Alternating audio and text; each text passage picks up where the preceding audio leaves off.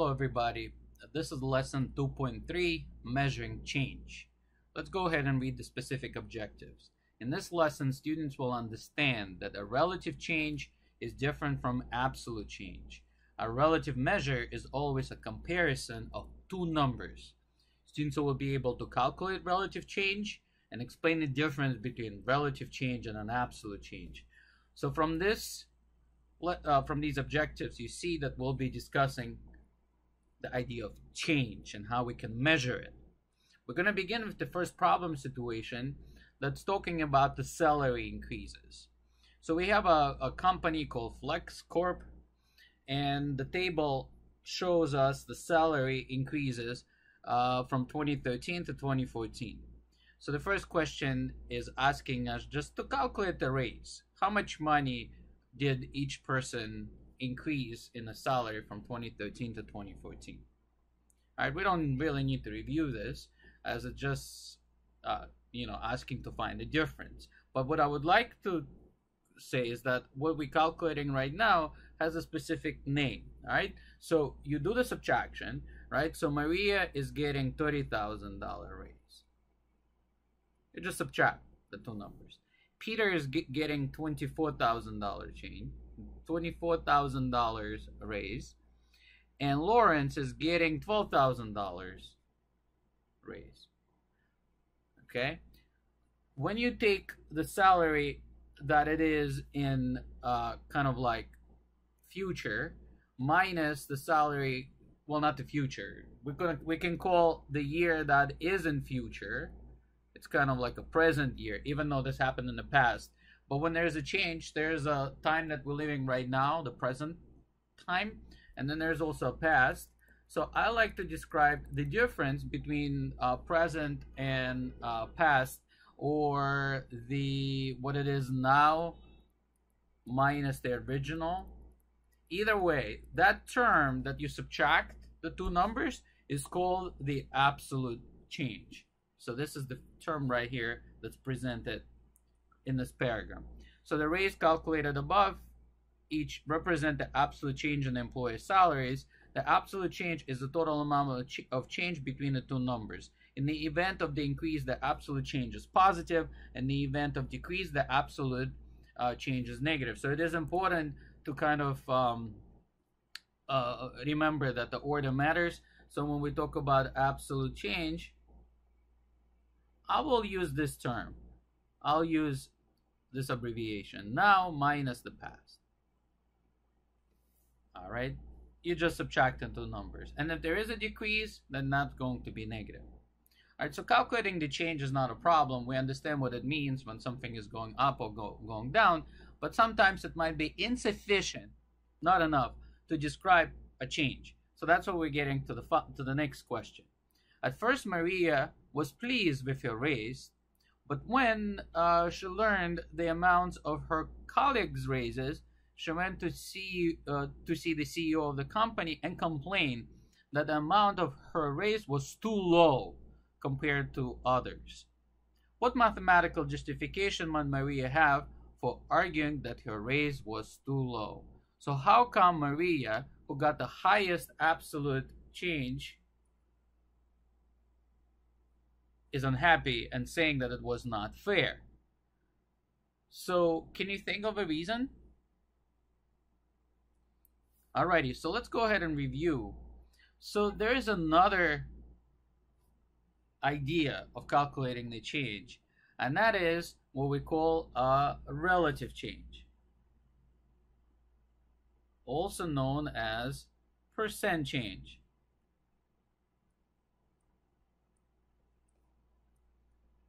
And it is measured as so how does it measured? It's basically measured as the absolute change so now minus the past. And then you relatively calculate how does that difference compares to the past value. Because every time you want to calculate some kind of change as a percentage you want to compare it as a fraction of what and it's always the fraction of the original salary. Okay, so sometimes instead of past, you can say original. Now minus original divided by the original. And then because we uh, talk about this as a percent for most part, we're going to multiply that ratio by 100. So let's go ahead and calculate the relative change for each of the people presented here. All right. So now look, we already calculated the absolute change. So to calculate the relative change, we're going to take the difference that we got for each and we're going to divide it by the original salary not the present salary but the past. Okay so we take $30,000 and we divide it by $200,000 and we convert this into a percent we can get rid of this 30 divided by 200 is going to reduce to 0.15 multiplied by 100 will give us 15% increase. You see it? 15% increase is what Maria got. Her salary is the, was the largest to begin with. So the $30,000 increase on her large salary ended up being 15%. Now we're going to do the same thing for Peter and Lawrence. For the Peter, the percent change or the relative change is 24,000 on the salary was significantly lower than uh, Maria's was 120. Just be careful, okay? You divide it first and then you multiply by 100, okay? So we get 24 divided by 120 is 0.2 multiplied by 100 gives us 20%. And finally for Lawrence, he had the lowest salary to begin with and his increase was $12,000 on a salary of 60,000 and that changes also 20%. So now do you see the justification of why Maria might be unhappy? Her relative change was lower than the other two. Okay? So now uh, if we were to use the 15% change, and if Maria were to receive the same rate as the others, in other words, if she were to get 20% raise, then what should her salary be uh, then? All right, so go ahead and calculate that. I'll give you a moment. Alrighty, so let's review it. So her salary was twenty two hundred thousand dollars. We increase it by 20%. Notice we do this very often. All right, so I'm going to write it like this. So it's 200,000 and then we'll multiply it by 0 0.2, the 20% as a decimal, multiplied by 200,000. So that would be, this will be 40,000. So her salary should be 240 if she were to get the same raise right? The other way you could have also gotten this using sort of ideas from lesson i think 1.3 uh, is to multiply by 1.2 immediately. Because 20% increase means she's getting a rate of 20% plus 100% which will be 120 so it's 1.2 all right so here we're looking at the other situation where the relative change and an absolute change can play a role. So these are the table of stock uh, share prices for, actually there are four stocks here, not three. Uh, Google, Microsoft, Best Buy, and Facebook. The Google has renamed its stock since uh, that period of time to Alphabet, but doesn't matter. They're going to use those four companies, the largest companies in the United States, and in the world and we're going to see uh, what can we say about the stock performance. Now what is a, uh, a share? It's basically a piece of a company. So a company uh, value is getting divided into shares and as a shareholder you can buy a piece of a company actually you can buy even a, a dollar amount of the stock now which will be a small tiny decimal of each share. All right but the way it's priced it's priced for that one share. How much does one share of a company is worth? Now the numbers are much higher than they were you know 10 years ago. But again we're going to use those numbers to analyze our you know um, situation right here.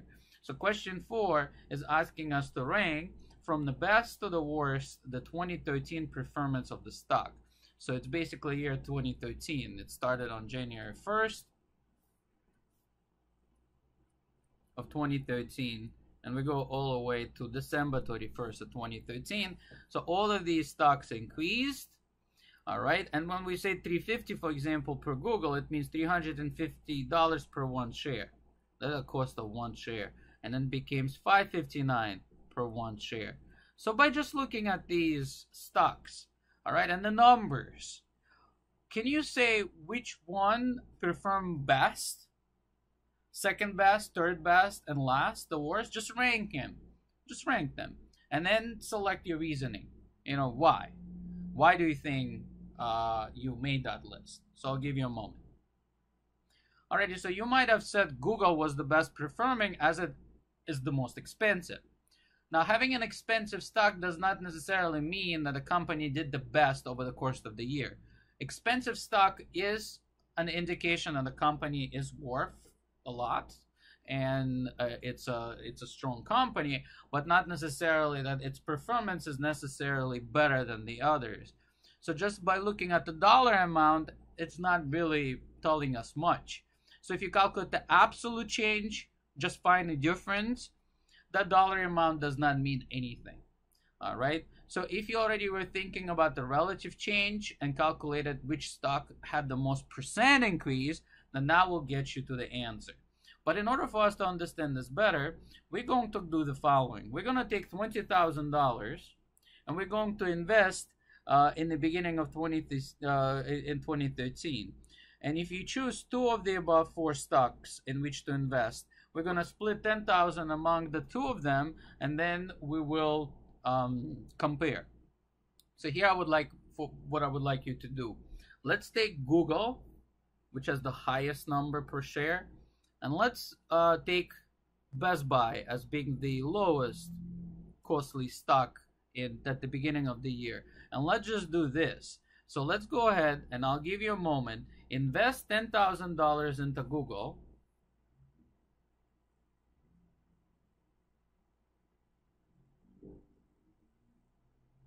The cost of the stock is $350 per share.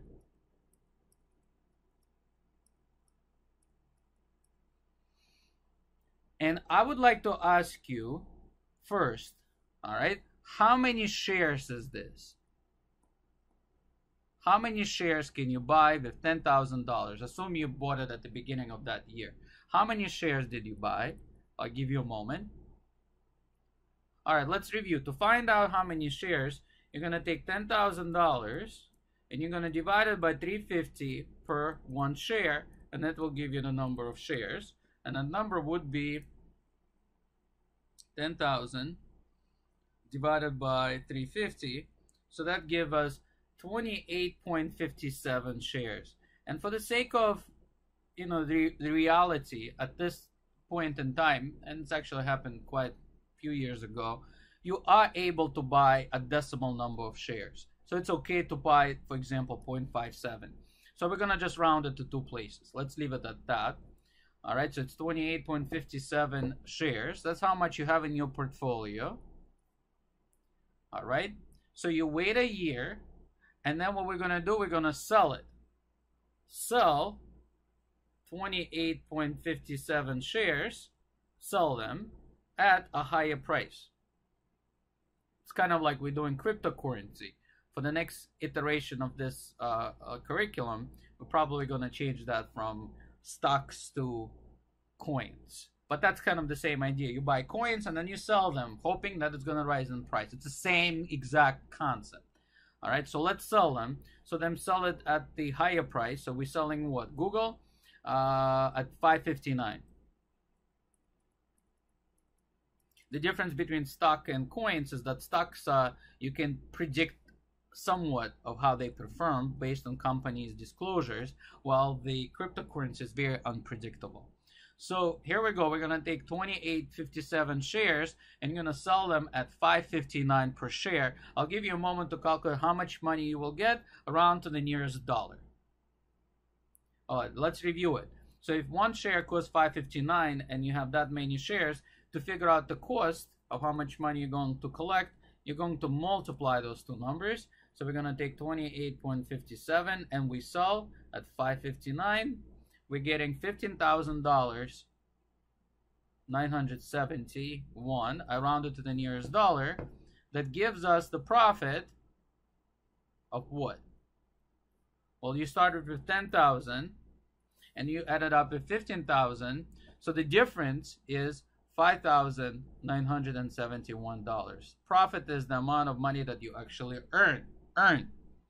So you earn $5,000 5,971 almost $6,000 from that investment. Now, I'm going to ask you to repeat the same calculation and figure out how much profit are you going to get from investing $10,000 in Best Buy. And I'll give you a moment to do so, and I'll write it um, there on top. Okay?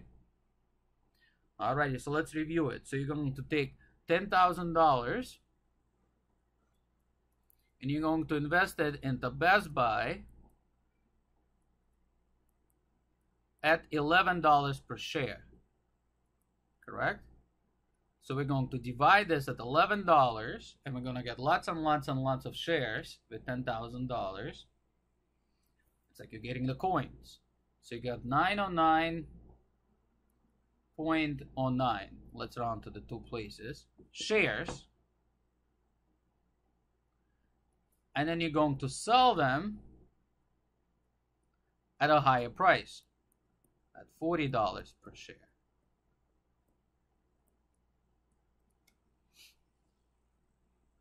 Okay, so let's multiply it by 40. You can actually leave the answer in your calculator. It's already displayed on my screen. I'm just going to multiply it by 40 to get a more accurate number. So look at the amount of money we're going to collect. $36,364 from selling those, making a profit which will be the difference between what we start and what we made of, look at this number, 36 my 36,364 minus 10,000 give us, you subtract, $26,364 in profit. So that means that Best Buy is much better investment based on the numbers from that year. It's not necessarily the same right now. You can check this out. Alrighty, so now you can see how the it works in terms of selling it. Now, when it comes to uh, looking at those two, the Google and Best Buy, was there any other quicker way that we could compare this? And the answer is yes. Well, we can also do this, and that's what the question is asking us. How can you mathematically compare Best Buy to Google? What you could calculate is the relative change. So check this out. If you calculate the relative change, How does this work? Let's do this together for Google. So for Google is you're going to take 559, you're going to subtract 350, and you're going to divide this by 350. You got to divide it by the uh, past, and then you multiply this by 100. You understand? You subtract first, and then you divide second. Make sure you follow along. So take 559 take away 350 that give us 209 divided by 350 second. Do not do you know uh, do not do uh, several calculation at once. Do it one step at a time. You do the numerator first. You got 209 divided by 350 and then multiply by 100 and then give us 59.7 percent.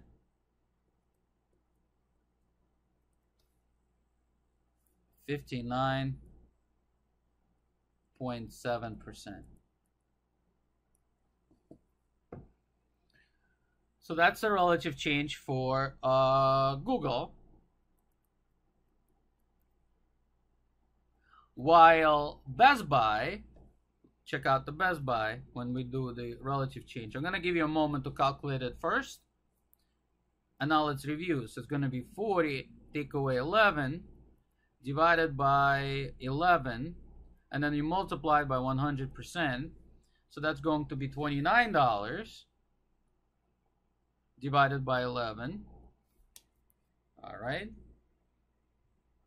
divided by 11 and then multiply by 100 I, got, I lost it. Let me do it again. 29 divided by 11 multiplied by 100 it's a whooping 263.6% increase. I'm using one decimal place. So that's for the Best Buy.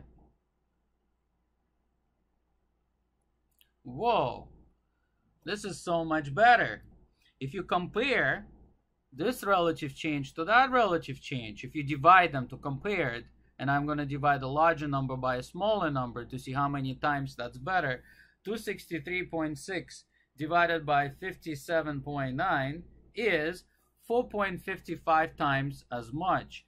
So how would you mathematically compare? We can divide this and say that, you know, the rate of profit from 1, which is what is it, 263. 6% divided by what's the rate for Google? 57.9% is 4.55 times better for Best Buy because it gives us such a better return. And you know what interesting? Check this out.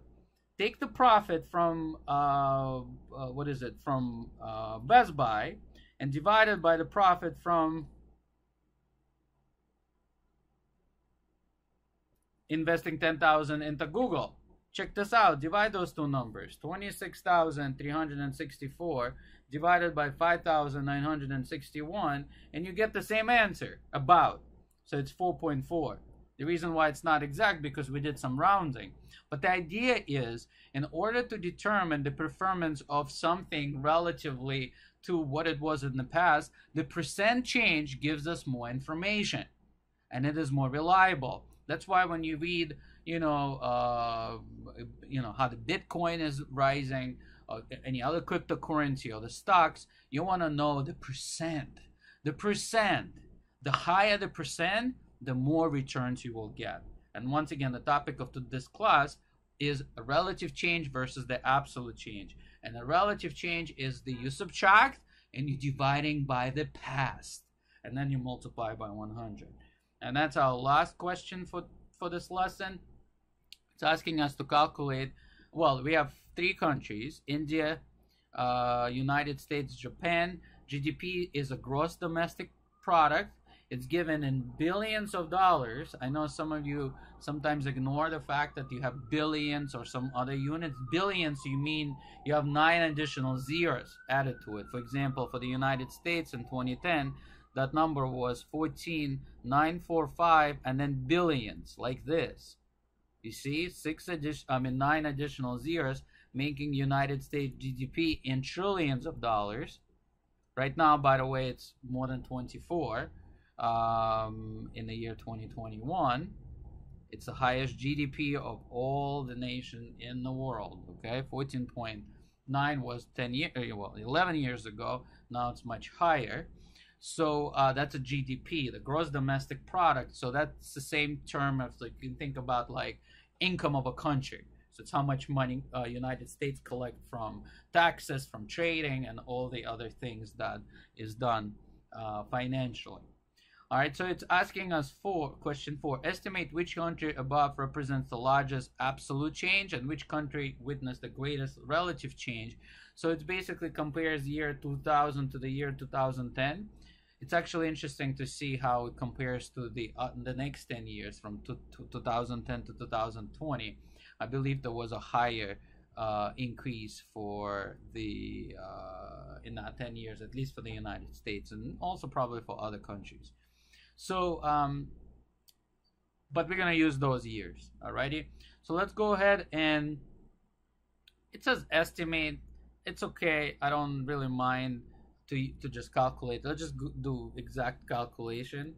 So go ahead and just calculate the absolute change and calculate the relative change of each country. And I'm going to ask you to, uh, you know, choose some of the answers on um, um, on. So uh, let's go, let's do this. Alrighty. Let's review. So the numbers right here were gotten by subtracting the 2010 minus 2000. All of this in billions of dollars. So it's okay to leave it like that. Alrighty. Now, to calculate the relative change, you're going to take this difference that you found, okay, and you're going to divide it by the past number, not by the pre by the, the later number, the earlier number. So take those and divide. Because when you're finding, you know, uh, what is it? Now minus the past divided by the past, this is equivalent as using the uh, absolute change and then dividing it by the past. That's the same idea. All right. And then don't forget to multiply by 100 uh, percent by 100 to convert it into percent. Okay, so let's do that. So here are the numbers for the relative changes. Okay, so for example, for the US, what you what I did is just take the 2,263, the difference, and divide it by 12,682, multiplied by 100, and that's where the 17.8% is coming from. All right, so as you can see, the United States has the largest dollar increase in the GDP because it was already, you know, making lots of money to begin with. So the difference is also the largest. However, the relative change is not the highest for the United States and India is a much higher change. And then part of this because it started with a much lower amount. Okay, so when we're talking about which of the countries like economies grew the fastest, which one would you and versus which one grew the most uh, these are the terms that we use. So which one do you think uh, uh, grew the fastest? Choose an answer. All right so the fastest re refers to the percent. Okay? So when we say the faster that means the, you know the more rapidly. So we're talking about the relative rate and that would be india of, of, of all these three countries. And which of the countries do you think grew the most? All right so here we say the US because it grew the most in terms of the dollar amounts. Uh, correct? It's 2,263 uh, billion people, a billion dollars, which is the most in terms of the numerical number. And then the last question is asking you to make the prediction for 2020 and justify your answer in a complete sentence using the precise mathematical terminology. So if you want to predict, what would you do? Let me give you a moment. Are you going to use a percent or are you going to be using uh, the dollar amount? Okay, so the percent is more logical to use because that's telling us about a relative growth to what it is, you know, in now and how much it's going to change in future. So if we use India's uh, percentage, so it's 97.3 of what it was in 2010 year so that is what? So 2010 year, India was 1365.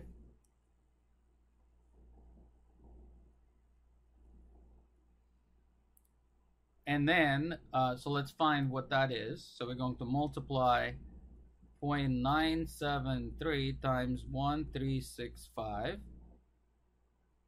0.973 times 1365 so that gives us 1328 let's leave it rounded to the nearest number. So that's increase. Since that's how much it's going to increase by we're going to add and uh, to what it started with. Okay? In 2010 so we're gonna add 1365 and we predict that it's going to be 2,693 billion dollars. All right, which is um, 2693 123 123 123 so it's actually 2.693 trillion dollars in 2020 and you can go ahead and compare how does that fit with the reality? And on that, we're going to finish the lesson.